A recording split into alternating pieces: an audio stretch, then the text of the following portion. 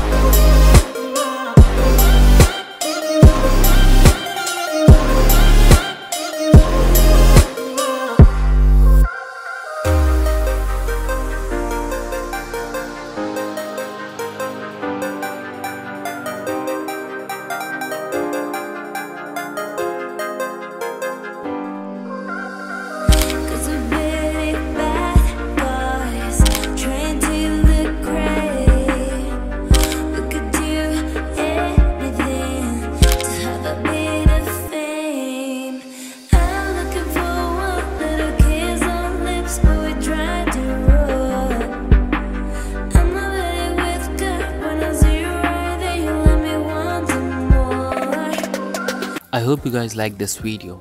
So if you guys want to learn and understand the thought process behind making this homepage design, then don't miss out the next video cause it's absolutely for you. Meanwhile, if you guys have any feedback or queries, please do let me know in the comment section below. If you guys want to learn more about UI UX design, you can subscribe to my channel. Those who didn't subscribe, that's okay too. I'm just happy you are here.